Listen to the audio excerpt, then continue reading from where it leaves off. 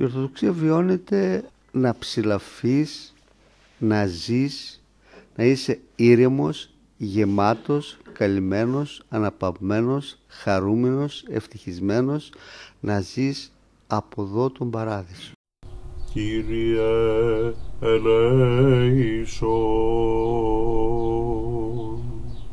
Μας αξιώνει ο Θεός αγαπητοί μου αδελφοί να τιμούμε τέτοιους μεγάλους Αγίους της Εκκλησίας μας στις 9 του μηνός να εορτάζουμε την περίφημη τη μνήμη του περίφημου Αγίου του Ιεράρχου, του συγχρόνου Ιεράρχου του μεγαλύτερου Αγίου του 20ου αιώνας, αιώνος του Αγίου Νεκταρίου Πενταπόλεως του Θαυματουργού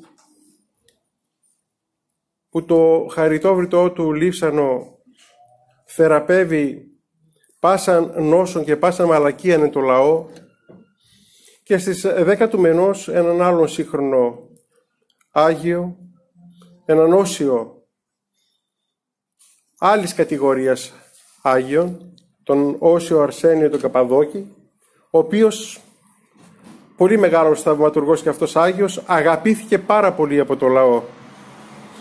Βέβαια αγαπήθηκε πάρα πολύ γιατί έγινε γνωστός από έναν άλλο μεγάλο Άγιο, τον Άγιο Παΐσιο τον Αγιορείτη, ο οποίος κατέθεσε στην αγάπη μας και άφησε ως κληροδότημα, ως παρακαταθήκη τη σχέση του με τον Άγιο Αρσένιο.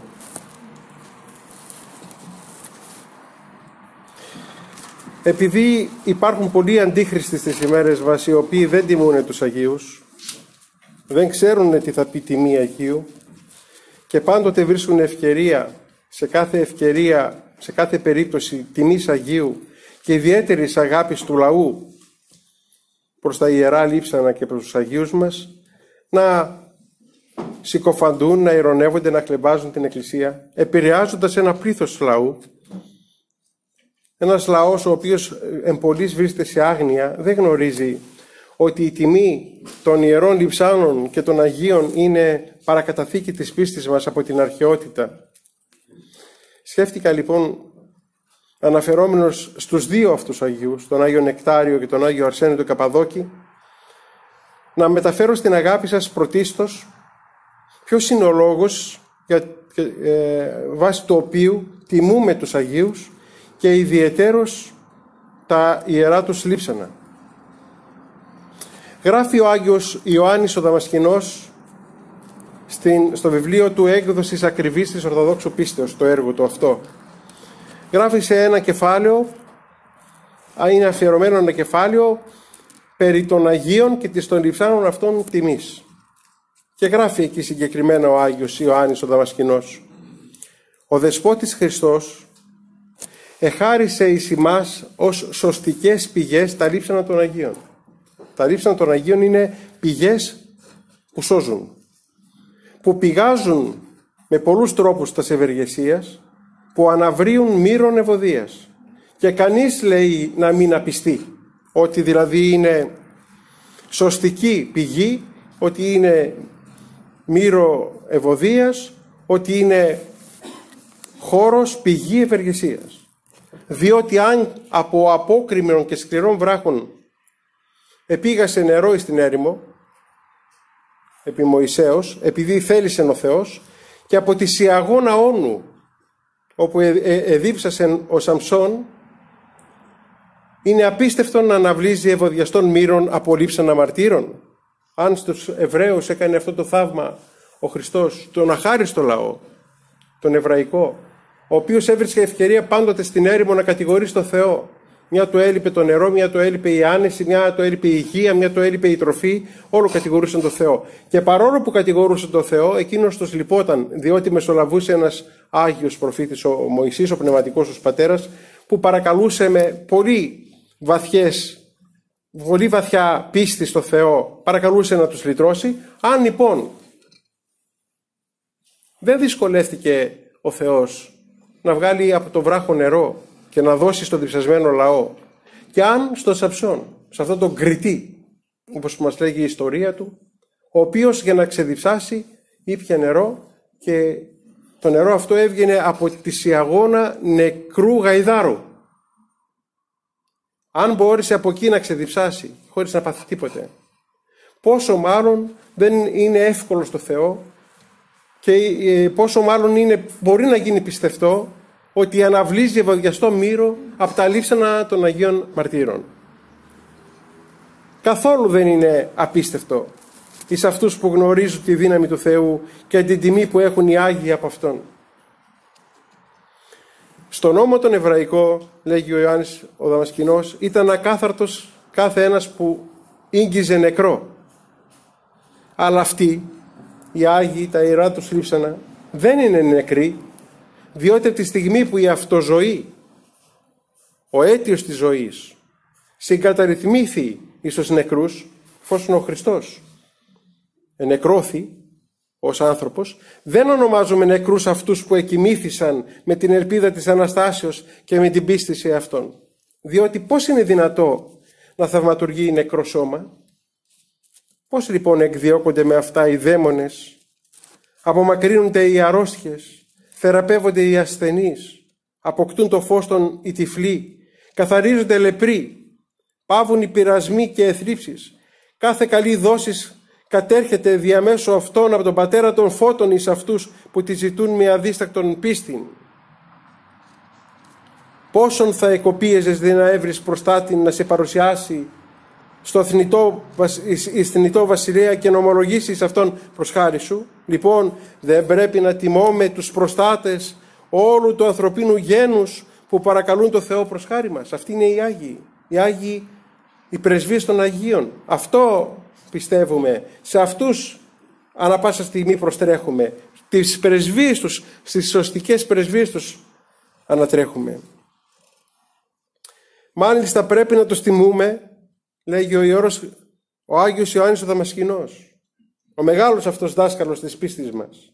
Πρέπει να το τιμούμε με το να ανεγείρουμε ναούς προς δόξα του Θεού εις το όνομά Με το να προσφέρουμε καρπούς από την παραγωγή μας με το να τιμούμε τη μνήμη των και εις αυτήν να εφρενόμεθα πνευματικά, δεν να είναι η χαρά αρεστή εις αυτούς που μας συγκαλούν, για να μην τους παροργήσουμε αντιθέτως ενώ προσπαθούμε να τους τιμήσουμε. Είδατε ποια είναι η παράδοση της Εκκλησίας μας. Γιατί ανεγείρουμε ναούς προς τιμή των Αγίων. Γιατί διαβάζουμε κόλληβα, τους σπόρους δηλαδή της παραγωγής της γης προς τιμή τους. Γιατί εορτάζουμε προς μνήμη τους. Γιατί προσκυνούμε τα ιερά τους λείψανα. Γιατί τιμάμε την ε, μνήμη τους. Γιατί δίνουμε τα ονόματα των παιδιών μας σε Αγίους. Φυσικά να το πούμε αυτό που το είπατε τώρα, που μου το θυμήσατε.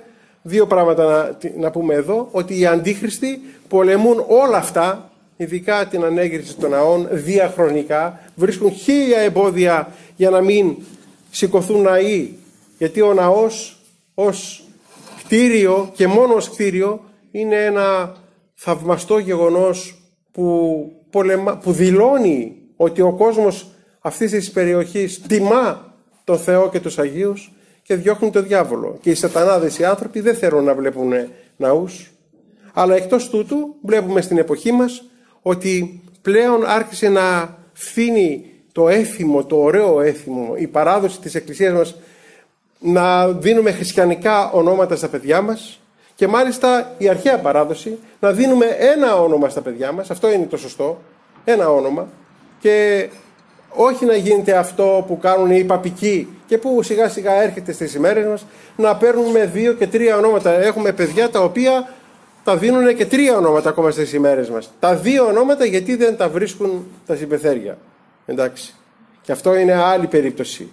Να δίνεις ε, το παιδί, ε, μάλλον, μάλλον, οι, μάλλον οι γονείς να απαιτούν το όνομά τους να πάρουν τα εγγόνια, να απαιτούν. Και οι νύφες και οι γαμπροί να μην θέλουν.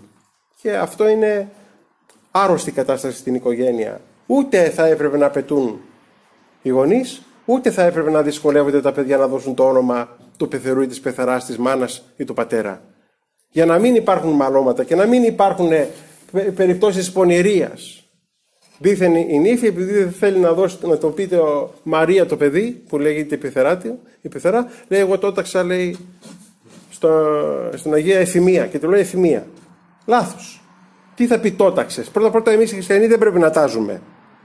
Δεν πρέπει να τάζουμε, δεν είναι καλό έθιμο να τάζεις. Δεν είναι σωστό. Γιατί πολλοί πέφτουν και στην παγίδα. Απογοητευμένοι επειδή νομίζουν ότι ο Θεός δεν τους έκανε το χατήρι και δεν ε, εκπληρώνουν τα τάματα αυτά και πέφτουν σε αμαρτία τέτοια. Δεν, παίζουμε, δεν παίζουμε με τα θεία. Καλύτερα λοιπόν να μην κάνουμε και τάματα. Ο ασθενής άνθρωπος δεν μπορεί να το κάνει αυτό. Αλλά όμως να το δούμε πώς έχει η πνευματικότητα. Το όνομα ενός Αγίου δίνουμε στο παιδί μας και αυτός είναι προστάτης του παιδιού. Και είναι το καλύτερο έθιμο που υπάρχει παγκοσμίως να τιμούμε τον Άγιο και να έχουμε την εορτή μας. Τι μόδα είναι αυτή με τα γενέθλια; Τα γενέθλια είναι μια μόδα η οποία είναι ξενόφερτη, δεν είναι παραδοσιακή. Δεν γιορτάζουμε εμείς οι χριστιανοί τα γενέθλια παρά του Χριστού, της Παναγίας και του Προδρόμου. Άλλα γενέθλια δεν γιορτάζουμε. Τα δικά μας αυτή είναι η μόδα των γενεθλίων που σιγά σιγά τα παιδιά μας φτάσαν να μην ξέρουν την ονομαστική τους εορτή και να ξέρουν τα γενέθλια. Είναι φοβερό αυτό. Είναι λάθος. Σε μια εποχή δε που αλλάζουν οι γιορτές. Οι αντίχριστοι δεν γιορτάζουν ε, τον Άγιο Νεκτάριο, δεν γιορτάζουν τον Άγιο Αρσένιο, τους μεγάλους Αγίους, γιορτάζουν τη 17, την επέτειο της 17 Νοέμβρη, γιορτάζουν το Φίσα, γιορτάζουν ε, ο καθένας ποιον έχει σαν πρότυπο, την ε, Παγκόσμια ημέρα της ειρήνης, την Παγκόσμια ημέρα της γυναίκας, την Παγκόσμια ημέρα του διαβάσματος, την, ημέρα, την Παγκόσμια ημέρα... Ένα σωρό παγκόσμιες ημέρες έχουν. Τον, τον Άγιο, τον Άγιο δεν τον τιμούνε. Δεν τον τιμούνε τον Άγιο. Γι' αυτό οι εκκλησίες αδειάζουν. Και γι' αυτό οι εκκλησίες τις ημέρες, τις καθημερινές που γιορτάζει κανένας Άγιος, ο κόσμος δεν υπάρχει. Ο παπάς, ο ψάλτης και τα σασίδια είναι. Δεν υπάρχει. Γιατί δεν τιμούν πια πλέον οι άνθρωποι τους Αγίους τους, γιατί δεν γνωρίζουν τι θα πει η τιμή Αγίου. Λέγει λοιπόν ο Ιερός ε, Ιωάννης ο Δαμασκηνός, διότι λέει με αυτά που λατρεύεται ο Θεός, με αυτά θα εφραθούν και οι υπηρέτης Του. Με αυτά όπου όμως που δυσαρεστείται ο Θεός, θα δυσαρεστηθούν και οι υπασπιστές Του. Ας τιμήσουμε πιστοί τους Αγίους, εμψαλμείς και ύμνης και οδές πνευματικές και με κατάνοιξη και λιμοσύνη προς τους πτωχούς με τα οποία κατεξοχή λατρεύεται ο Θεός. Ας, ενε, ας ενεγείρουμε προς τιμή των στήλας και ορατά εικονίσματα και ας γίνουμε οι ίδιοι με τη μίμηση των αρετών έψυχοι στήλοι και εικονίσματά τους. Εξετάζοντας τη ζωή όλων αυτών των Αγίων, ας ποθήσουμε με ζήλο την πίστη, την αγάπη, την ελπίδα, το ζήλο, τη ζωή, την αντοχή στα παθήματα, την υπομονή μέχρι σέματος, για να γίνουμε συμμέτοχοι και στα στεφάνια της ζωής. Έτσι λοιπόν, τιμή προς τους Αγίους. Όλα τα άλλα τα οποία, και δυστυχώς και τα παιδιά μας, πήγε ο εγγονός μου στο σχολείο, στο, στα νήπια, και λέει, παππού θα γιορτάσουμε, πώς το λένε, Halloween, πώς το λένε κάπως. Πώς; Ε, αυτό. Τι είναι αυτό ρε παιδιά, αυτό το γιορτάζουν οι Αμερικάνοι. Από πώς που είναι γιορτή για την Ορθόδοξη Ελλάδα και τα παιδιά μας να υποχρεωθούν να γιορτάζουν μια τέτοια τιμή; Είδα και κάποιες σκηνές στο, στο YouTube ότι αυτοί δίνονται βρικόλακες και, και μάγοι και δαιμονισμένοι και τέτοιοι. Αυτή η γιορτή, αυτή τη γιορτή θα φέρουμε στην πατρίδα μας; Πρέπει να φέρουμε γιορτές να διώξουν το, το διάβολο, όχι να γιορτάζουμε το διάβολο. Ε, στην Αγγλία, στην Αγγλία, αγόρι μου. Λοιπόν, ας πούμε τώρα και δύο ακόμα πράγματα για το, στο χρόνο που έχω για τους Αγίους μας, τον Άγιο Νεκτάριο και τον Άγιο Αρσένιο τον Καπαδόκη.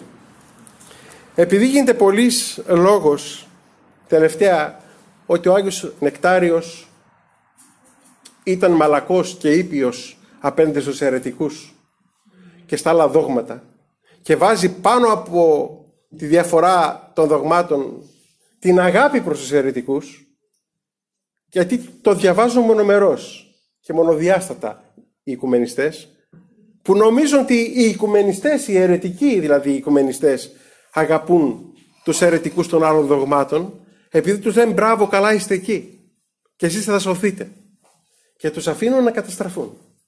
Τους αφήνουν να πηγαίνουν στην κόλαση και να μην τους διεγείρουν με το μικρόβιο, ας το πω έτσι, της αφιβολίας. Μήπως δεν πάμε καλά. Τους λένε καλά είστε. Και επειδή έχουν αυτή την αρχή, λένε ότι και ο Άγιος Νεκτάριος έβαζε την αγάπη πάνω από τη διαφορά των δογμάτων. Δεν είναι όμως έτσι.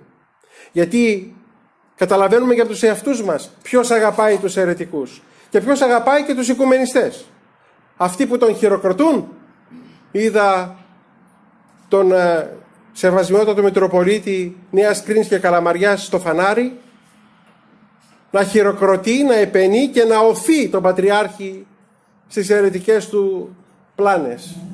Όταν πηγαίνουν οι Μητροπολίτες και δεν μαλώνουν τον Πατριάρχη για τα τραγικά λάθη που κάνει απέναντι στην πίστη, πώς θα συνέλθει αυτός; Λέει εσείς που μαλώνετε τον Πατριάρχη δεν τον αγαπάτε. Ενώ εμείς που τον χειροκροτούμε και τον γλύφουμε με μοσχαρόγλωσσα από τη Θεσσαλονίκη μέχρι το φανάρι, εμείς τον αγαπάμε. Είναι λάθος αυτή η εντύπωση που έχουν και που προσπαθούν να περάσουν στον κόσμο. Και ακούμε τον κόσμο τώρα περί αγάπης. Να μιλάνε και έχουν γίνει όλοι οι αγαπούλιδες και να λένε γιατί μωρέ. Καλή είναι και οι προτεστάντες, καλή είναι και οι παπικοί, καλή είναι και οι μονοφυσίτες. Γιατί φωνάζετε, γιατί τους μαρώνετε. Βάσει λοιπόν του Αγίου Νεκταρίου θα ήθελα να αφήσω ένα μήνυμα σε εσάς και σε όσους ακόμα θα μας ακούσουν για να δούμε ποια είναι η θέση του Αγίου Νεκταρίου απέναντι στις αιρέσεις και κυρίως στη μεγαλύτερη αίρεση ως εκείνη την εποχή του Αγίου Νεκταρίου, τον παπισμό. Λέγει λοιπόν ο Άγιος Νεκτάριος πως λέγοντας ο Πάπας πως είναι κεφαλή της Εκκλησίας εξόρισε από τη Δυτική Εκκλησία το δεσπότη πάντων Χριστών και έτσι έμεινε η Δυτική Εκκλησία χείρα από τον Χριστό. Όταν οι ιοί τους Ζεβεδαίου ζήτησαν από τον Χριστό πρωτοκαθεδρία να καθίσουν ο ένας δεξιά του και ο άλλος αριστερά του, ο Κύριος δεν τους είπε ότι αυτό είναι αδύνατον, διότι την πρωτοκαθεδρία την, είχε την έχω δώσει στον Πέτρο. Δεν τους είπε έτσι. Είναι αδύνατον γιατί με συγχωρείτε την πρωτοκαθεδρία την έδωσα στον Πέτρο, δεν μπορείτε να την πάρετε. Αλλά ότι όσοι αν θέλει γενέστε μέγας εν ημίν, έστε διάκονος ημών και όσοι αν θέλει γενέστε πρώτος, έστω πάντων δούλος. Όταν οι Απόστολοι κατά το μυστικό δείπνο έπεσαν στη φιλονικία, δια τα πρωτεία, όπως κάνει ο Πάπας, όπως κάνει ο Βαρθολομαίος, ο Κύριος δεν τους είπε πως ο Πέτρος είναι ο μεγαλύτερος επειδή αυτόν αφήνω επίτροπον στο πίμνιο, αυτός είναι η κεφαλήν όλων σας, αλλά τι τους είπε; Τους είπε ότι οι βασιλείς των εθνών είναι αυτόν και εξουσιάζονται σε αυτόν ευεργέτε καλούνται, καλούνται ημείς δε ούχουτος, αλλά ο μίζων εν ημίν γενέστο ως ο νεότερος και ο ανακείμενος ως ο διακονών. Έφερε και παράδειγμα ο Κύριος στους Φαρισαίους οι οποίοι ζητούσαν από τους ανθρώπους να λέγονται ραβοί. Όμως εσείς, οι δικοί μου μαθητέ, μην πέσετε στο πάθος αυτό, μην ζητείτε το πρωτείο αυτό, εμείς μην κληθείτε καθηγητέ, εις γαρεστήν ο καθηγητής Χριστός και πατέρα μην καλέσετε επί της γης, είσαι στην ο πατήρι μόνο εν της ουρανής, εμείς δε πάντες αδελφοί εστέ. Εμείς οι χριστιανοί δεν ονοματίζουμε καθηγητή κάποιον όπως τον καθηγητή της ερήμου, τον Άγιο Αντώνιο, γιατί από μόνος του, με τις δικές του δυνάμεις, έγινε καθηγητής και δάσκαλος της νοεράς προσευχής και της πίστης μας, της νύψεως. Όχι. Διότι μιμείται τον καθηγητή Χριστό. Από εκεί αντλεί το όνομα. Από εκεί αντλεί όλα τα στοιχεία. Έτσι λοιπόν και τους πατέρες, τους ιερείς που τους καλούμε πατέρες, δεν τους λέμε επειδή είναι αυτοί πατέρες αυτόφωτοι και από μόνοι τους, αλλά γιατί αντλούν την πατρότητα από τη σχέση τους με το Θεό. Είναι λοιπόν λέγει ο Άγιος Νεκτάριος φανερό ότι τούτη η καπνή της φιλοδοξίας και πρωτοκαθεδρίας δεν εχώρισαν μέσα εις τας θεοφόρους κεφαλάς των Αποστόλων αλλά όλοι ήταν ομοταγείς, αδελφοί κατά τη διδασκαλία του Κυρίου επίσης διδάσκαλοι πάση, πάσης της οικουμένης όχι διηρημένος ο ένας στη Ρώμη ο άλλος αλαχού λέγει ο Άγιος Νεκτάριος, αλλά πανταχού καθένας στην αυτή εξουσία είχε και το αυτό αποστολικό προνόμιο. Έτσι ο Πάπας συνεχίζει, διαναστήσει την κεφαλή του, όχι μόνο συκοφαντεί το Ευαγγέλιο, αλλά καταφρονεί και το μακάριο Πέτρο, σμικρύνοντάς του το αποστολικό του προνόμιο, επειδή από εκεί που ήταν χειροτονημένος διδάσκαλος πάσης της οικουμένης, καθώς και οι λοιποί Απόστολοι, αυτός τον περικλείει μόνο εις τη Ρώμη. Εάν ο Πέτρος ήταν κεφαλή και αρχή, πώς ο Παύλος, ο οποίος δεν ήταν από τους 12, αντεστάθη κατά πρόσωπον εις το Πέτρον, Πώς τον ελέγχει, καθώς ο ίδιος γράφει στην προς Γαλάτας επιστολή του, ότι ήρθε Πέτρος εις Αντιόχιαν κατά πρόσωπον αυτού αντέστην. Εάν ο Πέτρος ήταν πρώτος, πώς στην Αποστολική Σύνοδο δεν αποφασίζει ο Πέτρος ως κεφαλή πάντων, αλλά ο Ιάκωβος; Οι Απόστολοι ήσαν οικουμενικοί διδάσκαλοι και ισότιμοι πάντες και ουδένας είχε διορισμό διορισμένων θρόνων. Οι Απόστολοι χειροτονούσαν παντού αρχιερείς και έδιναν εις αυτούς τέσσερα χαρίσματα. Πρώτον το κήρυγμα του Ευαγγελίου, δεύτερον την ιεροσύνη, τρίτον τη χειροτονία, τέταρτον την εξουσία του δεσμήν και λύην αμαρτήματα. Και αυτά μερικός και όχι οικομενικός. Αλλά καθένας στην επαρχία του εκήρυτε το Ευαγγέλιο, ενεργούσε τα της ιεροσύνης, έπρατε τα της χειροτονίας, ετέλει, ετέλει τα του δεσμήν και λύην. Έξω από την επαρχία του Ουδής, επειδή αυτό ήταν αποστολικό χάρισμα. Οι Απόστολοι αρχιερείς χειροτονούσαν και όχι Αποστόλους. Ουδής των χειροτονηθέντων από τους Αποστόλους έγινε διάδοχος και του αποστολικού αξιώματος. Δόγμα των παπικών είναι το μη πιστεύειν στον Πάπαν. Ακούστε ποιο είναι το δόγμα των παπικών, το εωσφορικό δόγμα. Το μη πιστεύειν στον Πάπαν, ταυτόν εστί το μη πιστεύειν στον Χριστόν. Αν δεν πιστεύεις στον Πάπα, είναι το ίδιο σαν να μην πιστεύεις στον Χριστό. Ο σαν να ήταν ο Πάπας και ο Χριστός εν κατουσίαν, δηλαδή θεοποιεί τον εαυτό του. Ο Πάπας είναι κτίσμα και επειδή ζητεί προνόμιον όπου το έχει μόνος ο Θεός, το να πιστεύουν σε αυτόν τα κτίσματα είναι ιερόσιλος και παντάπαση τυφλός όταν θέλει να είναι ανώτερος των συνόδων. Όταν φαντάζεται πως είναι αναμάρτητος, τι άλλο όταν διδάσκει πως είναι μονάρχης των εκκλησιών, παρά το ότι είναι Θεός και δια τούτο με ανέσχυντον και άθεον απόφαση θέλει να προσκυνείται και να πιστεύετε ως Θεός. Τούτο τι άλλο είναι παραφαντασία αθείας, τύφλωσης νοός ειδωλολάτρου. Είδατε με τι λόγια μιλάει στον Πάπα που εμείς μιλώντας έτσι με παρόμοιο τρόπο κατηγορούμαστε και διωκόμαστε. Η υπερηφάνεια είναι άρνηση της ζωής του Χριστού, μίμησης του διαβόλου, διότι οι αποστατικές δυνάμεις, καθώς έλεγε η Μακαρία συγκλητική, τις άλλες αρετές δίνονται κατά τι τρόπο να μιμηθούν, τη δε ταπεινοφροσύνη ουδέποτε. Η ταπεινοφροσύνη είναι γεννήτρια και τροφός πασών των αρετών, μίμησης της ζωής του Χριστού. Η παπική εκκλησία εισαγωγικά είναι νόθος οργανισμός. Σε έναν θνητό και αμαρτωλό άνθρωπο συγκεντρώθηκε η απόλυτη εξουσία και το αλάθητο. Η παπική σε εισαγωγικά εκκλησία δεν είναι χριστοκεντρική αλλά παποκεντρική.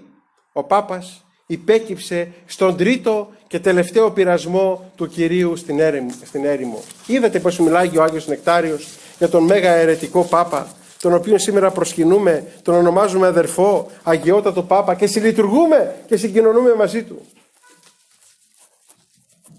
Πέρα όμως από αυτόν τον θεολόγο Άγιο Νεκτάριο, τα τελευταία τρία-τέσσερα λεπτά που μου έχουν απομείνει, θα σας μιλήσω για τον Άγιο Αρσένιο, τον Όσιο Αρσένιο, με το στόμα του Αγίου Παϊσίου, του Αγιορείτη, έχει πει πολλά και έχει γράψει πολλά ο Άγιος Παΐσιος για τον πνευματικό του πατέρα και νονό του που τον βάπτισε. Λέγει λοιπόν σε μια αποστροφή του λόγου του Άγιος Παΐσιος, υμνώντας την αγιότητα του Κυρίου μας και την Ορθοδοξία μέσα από τα μάτια των Αγίων. Ο λογισμός λέει, μου λέγει ότι η μεγαλύτερη θεία δράση του Αγίου Αρσενίου τώρα αρχίζει και ήδη άρχισε μετά από την κοιμησή του στην Ελλάδα αφού είχαν ξεκουραστεί λίγο τα πολυκουρασμένα του Άγια Κόκαλα στα ευλογημένα χώματα του Ιερού νησιού της Κερκύρας. Όπως ανέφερα πιο πάνω, ήδη από το 1970 που έκανε τις εμφανίσεις του, συνέχεια ο Άγιος Αρσένιος θαυματουργεί έχουν θεραπευτεί πολύ μέχρι σήμερα και από διάφορες αρρώστιες από τον Άγιο Πατέρα, Πατέρα Αρσένιο που τον επικαλέστηκαν με πίστη και ευλάβεια. Δεν κάνω εγώ λόγο για αυτά τα θαύματα, εκτός εάν οι ίδιοι θεραπευμένοι τα ομολογήσουν από ευγνωμοσύνη προς τον Άγιο εις δόξαν Θεού. Η χάρη του Θεού δεν είναι στέρνα που τελειώνει το νερό της και μετά στερεύει, αλλά ανεξάντλητη πηγή Είναι φυσικό, νομίζω, να βοηθά περισσότερο τώρα από ό,τι βοηθούσε όταν ζούσε στη γη. Διότι τώρα πια βρίσκεται κοντά στον ουράνιο πατέρα και σαν παιδί του με παρησία που είχε αποκτήσει από πριν, μπορεί να, να παίρνει άφθονη χάρη και να καταφθάνει αμέσως στους πονεμένους ανθρώπους για να τους βοηθάει δίνοντας την ανάλογη θεραπεία. Η προηγούμενη μεγάλη άσκησή του για την αγάπη του Χριστού μαζί με, με τη μεγάλη του αγάπη για ταπείνωση του έφερε και αυτή τη μεγάλη πνευματική εξέλιξη να πετάει τώρα αγγελικά και να αγάλεται γιατί βοηθάει περισσότερους πονημένους ανθρώπους για το, και για το ότι δοξάζεται περισσότερο και το όνομα του Θεού. Τώρα πια ο Χατζεφεντής, πατήρ Αρσένιος, δεν τρέχει με τα πόδια και δεν λαχανιάζει για να προλάβει τους άρρωστους, να τους διαβάζει την ανάλογη ευχή και να τους θεραπεύει, αλλά πετάει άνετα σαν άγγελος από την μια του κόσμου στην άλλη και μπορεί να προλαβαίνει όλους τους πιστούς που τον επικαλούνται με ευλάβεια. Ο πατήρ Αρσένιος κήρυτε την Ορθοδοξία ορθά με τον Ορθόδοξο βίο του. Έλειωνε στην άσκηση της άρκα του από τη θερμή του αγάπη προς το Θεό και αλλίωνε τις ψυχές με τη Θεία του χάρη. Πίστευε πολύ και θεράπευε πολλούς πιστούς και απίστους. Λίγα λόγια, πολλά θαύματα. Ζούσε πολλά και έκρυβε πολλά. Μέσα από το σκληρό του φλοιό έκρυβε τον πνευματικό του γλυκό καρπό. Πολύ αυστηρός πατέρας στον εαυτό του, αλλά και πολύ στοργικός πατέρας στα παιδιά του. Δεν τα χτυπούσε με τον νόμο, αλλά με το φιλότιμο, με το νόημα του νόμου. Ω λειτουργός του υψίστου δεν πατούσε στη γη και ως λειτουργός άστραφτε στον κόσμο. Το δόξασε ο Θεός και τη συνέχεια με την Αγία του ζωή δοξαζόταν το όνομα του Θεού εις τον οποίο ανήκει πάσα δόξα εις τους αιώνας. Αδερφοί μου, αυτά τα διαμάντια έχει η Ορθοδοξία. Ελπίζω ότι ο Θεός θα μας λυπηθεί.